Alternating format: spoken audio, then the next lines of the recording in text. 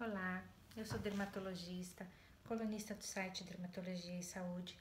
e vou falar brevemente com vocês sobre uma causa de queda de cabelo muitas vezes desconhecida, a queda de cabelo provocada por medicações. Se você está com queda de cabelo, vai procurar o seu dermatologista, leve a ele todas as informações referentes às medicações às quais você faz uso, tanto as medicações que você toma por conta própria, como aquelas prescritas pelos seus médicos. Em posse dessas informações, o dermatologista conseguirá avaliar qual a origem de sua queda e se porventura essa queda tem relação com alguma medicação de seu uso, o dermatologista entrará em contato com o médico prescritor para junto decidirem se há possibilidade de substituição. Se essas informações não forem adequadas, muitas vezes não se consegue um resultado no tratamento da sua queda.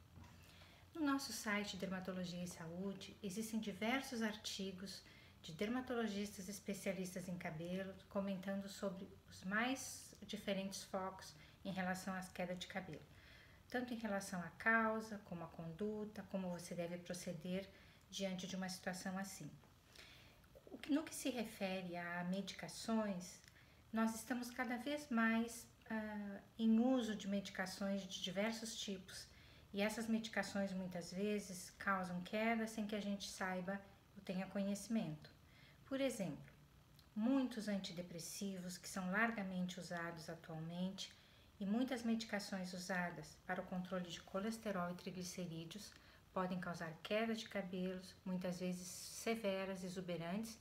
e de difícil controle. Então, procure informar-se, leia bastante sobre o assunto, leia nossos textos no site Dermatologia e Saúde e nunca esqueça de levar todas as informações ao seu dermatologista para que ele possa conduzir bem o seu caso e obter um resultado satisfatório.